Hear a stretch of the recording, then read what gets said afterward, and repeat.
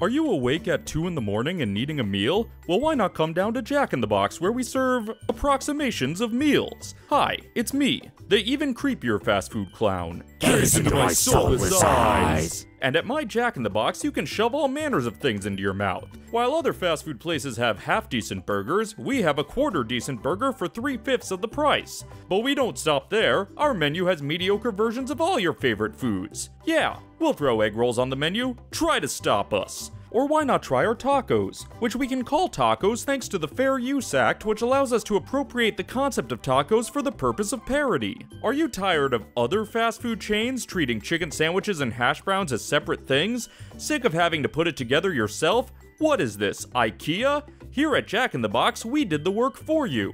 Enjoy your chicken sandwich with a hash brown on it. This is what you wanted, America! And everything on the menu legally counts as food. That's right, the FDA has not yet ruled my Junior Jumbo Jack as completely unsafe to insert into your body. And since we surpass the bare minimum standards of edibility, we'll let you wash down the food with any flavor of soda. Except for the most of them, which will probably be out of when you get here. Some of our locations even have Wi Fi that sometimes works, and we'll let you use it if you snack on something. Maybe if you're lucky, we'll have an outlet and you can charge your devices. But only if you eat here. You were really counting on that Panera next door to have outlets, but it's one of those weird ones where the outlets are covered out of spite. But we're here, waiting for you.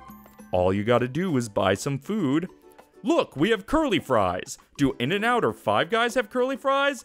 Do they? Do they have fucking curly fries? And yes, almost everything on our menu looks and sounds disgusting, but I know you. You're laughing about how gross this all is, but deep down you're thinking, you know, it's been a while since I've had Jack in the Box, and it's probably not that bad, right? I remember kinda liking it when I was younger. Honestly, I could go for Jack sometime soon. You can't wait to try this, can you? You're craving my menu and you're telling yourself it's ironic, but no, this weird junk food is what you actually want. I have you right where I want you, because our meals are designed to be exactly what hits the spot for anybody high enough to make it through our commercials. Jack in the Box. At least we're not Carl's Jr.